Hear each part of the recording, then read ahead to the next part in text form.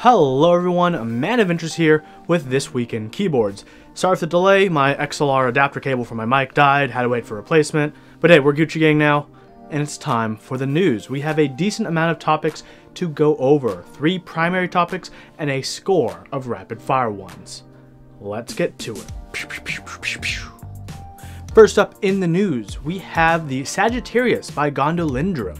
The Sagittarius is an ergonomic layout that is uh, quite interesting to be honest. I'm kind of a fan of what I'm seeing here so far. It's different and it could work.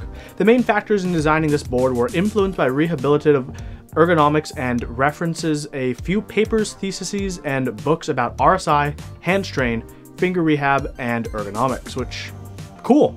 This is a particularly interesting layout and it's nice that it was created with compatibility for common key set uh, base kits in mind.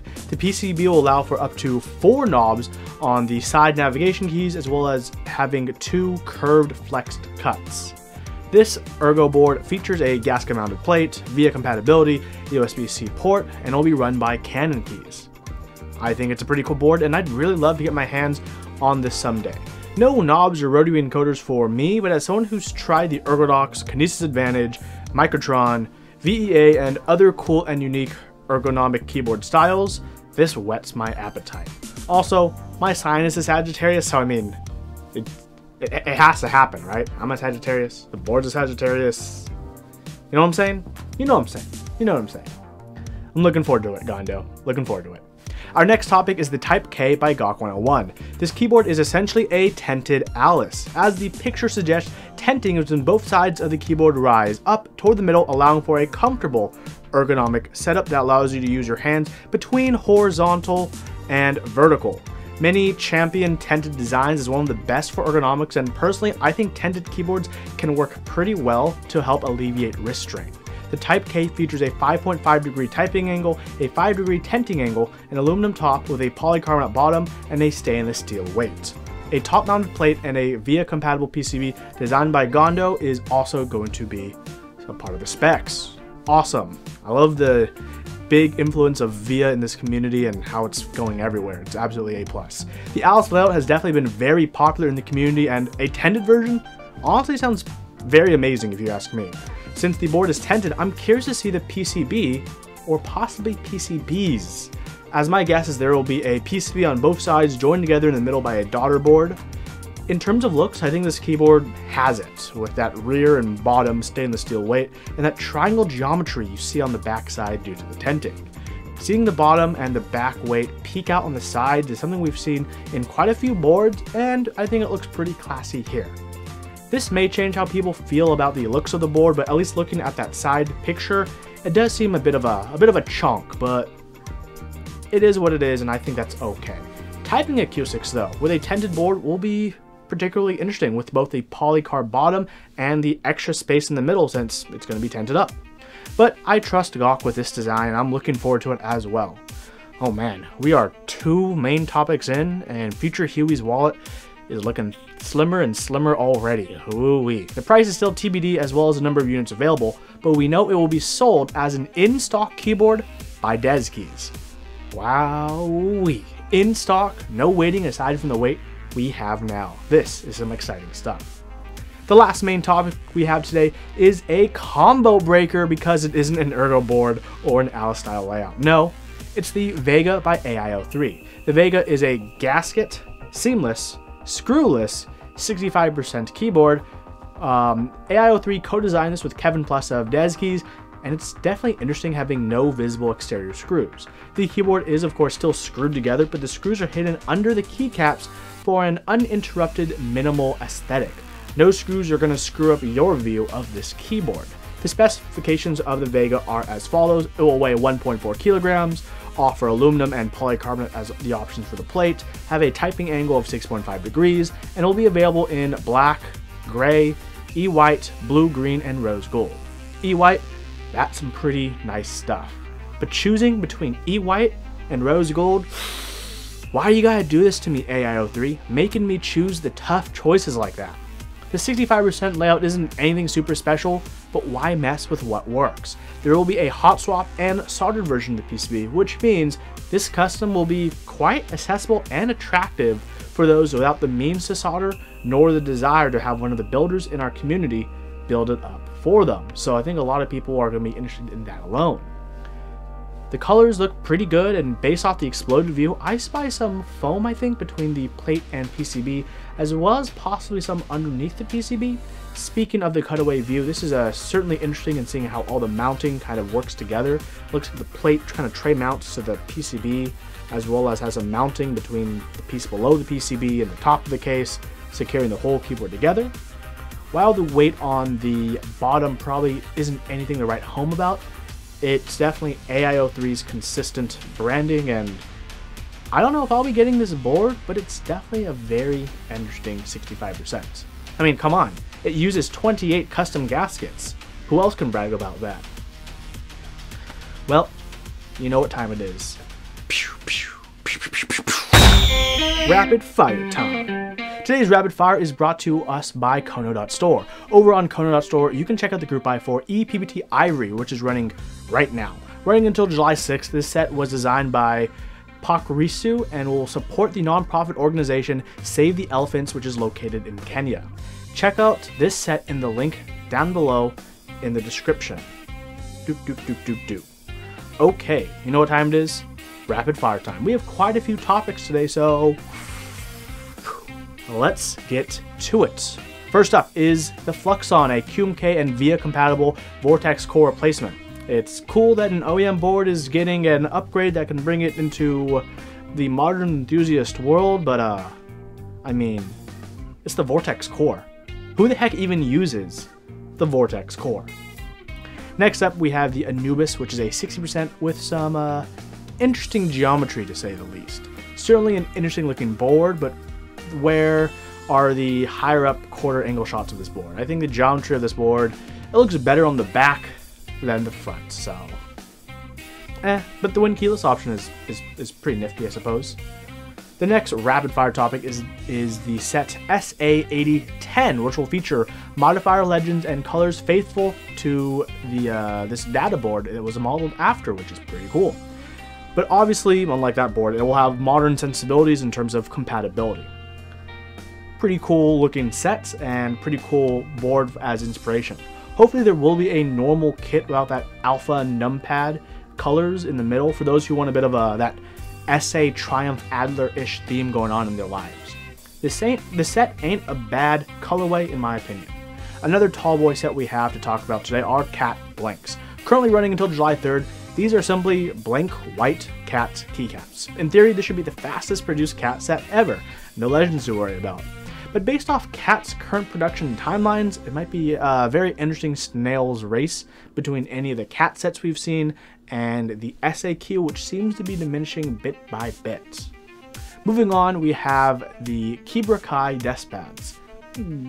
Cool enough, I guess, if you're a fan of uh, Cobra Kai and that whole show and stuff. I, I, I don't really know. Our next topic is a keyboard. It's the Pitta 60, which is a custom keyboard for low profile switches. Here's the thing. I don't really know anyone as an enthusiast who uses low profile switches consistently, maybe aside from like people in the 40s community or people who build those small split boards. But I guess it's something that people can do. So here's the thing about this keyboard. It, I found it, you know, I found it uses TC, TTC low profile switches, which makes me think, whoa, I didn't even know those exist. Where the heck do you even get those switches? Well, if you know where you get those switches, maybe you'll care about this board.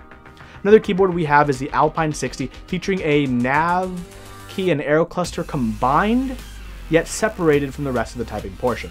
Something about it just looks off to me for that layout, and I think the weight is uh, has a bit too much going on. It's gasket mounted though, since it's you know 2020 and gasket mounting seems as common as getting fries with your burger.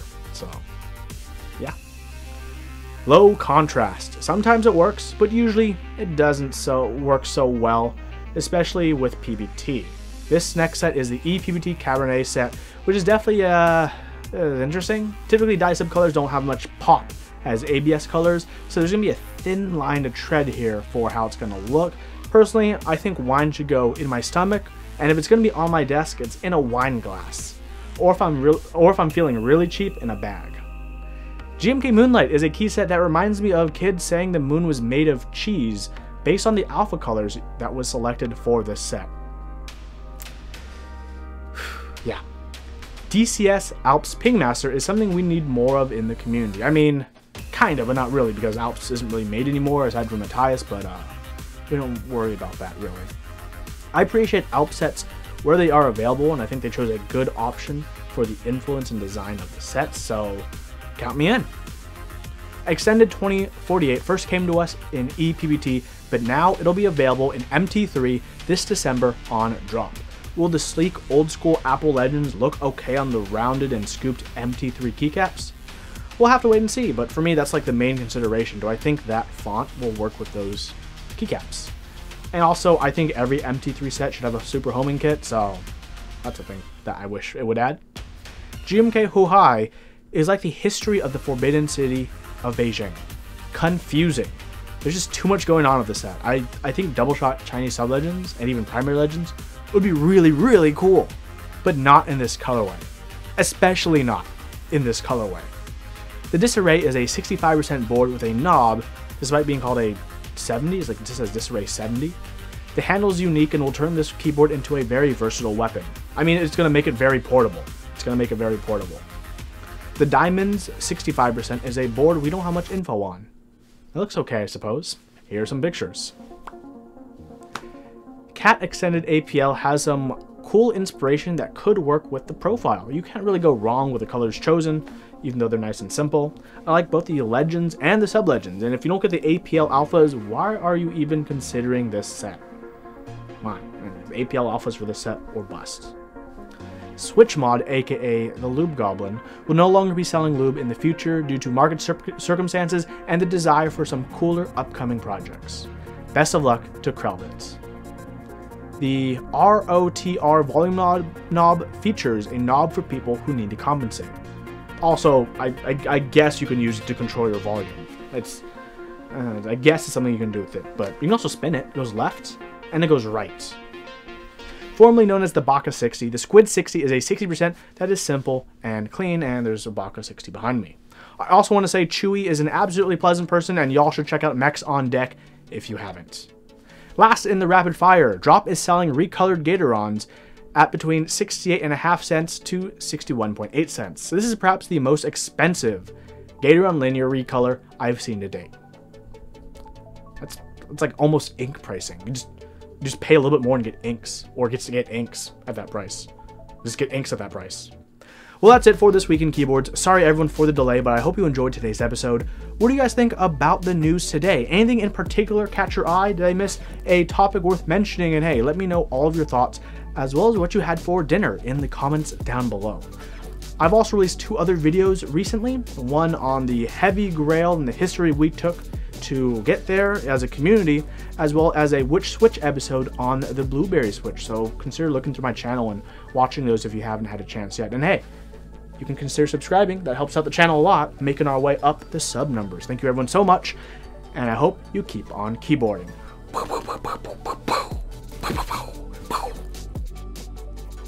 Let's try something new. Let's read some comments. From Robert Hill on my Which Switch Blueberry. Great video, Huey, although I think your review does not address a key element of the Cream family typing experience. Mainly, what does the Switch smell like? Unfortunately, it doesn't smell like blueberries, but fortunately, it doesn't smell like fish or a Chinese factory. So, I guess Mike has learned to air out the switches before sending them to us. From Chillman, this switch would have been great if it kept the cream spring and used something more similar to an MX Clear or Halo stem. Big agree, big agree. It's definitely a unique Switch for what it is because it's so different, but uh, I think it might be too different. Roderick asks, I'm a fan of the 67 gram Zeal V2s and drop HPs. Will I like this Switch? I, I don't know. Maybe. It's not like either of those two Switches. Um, but that doesn't mean you might like something different. But it is different. Uh, those aren't really, in my opinion, uh, comparisons. Joseph Aguilar says, Otemu U4 or Otemu Phoenix would be a fantastic net, next switch for Which Switch.